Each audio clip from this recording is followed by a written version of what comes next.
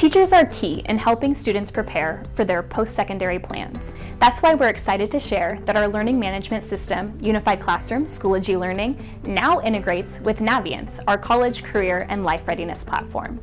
This integration gives a central location to teachers, counselors, and educators who work closely with students to help them understand different post-secondary paths and the financial options to fund them. Let's take a look at how this integration works and how it can benefit educators and students at your school or district. As you can see, I'm logged into Unified Classroom Schoology Learning as a teacher. And as a teacher, I can now access the Naviance curriculum by going to Groups. To access the curriculum lessons, go to Resources.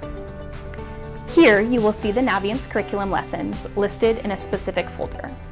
From there, you will copy and paste these lessons into your school district's collection, making them available to all teachers, counselors, and staff members under the Resources tab. Now, I will show you how to integrate these lessons into a classroom setting. First, you will want to explore all of the different lessons available.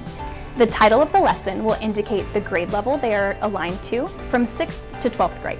You can click into each lesson to explore and decide which ones you want to incorporate into your course.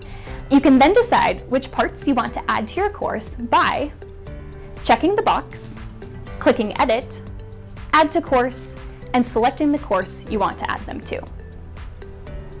When you go to your course folder, you can now see the Naviance curriculum lesson and get creative.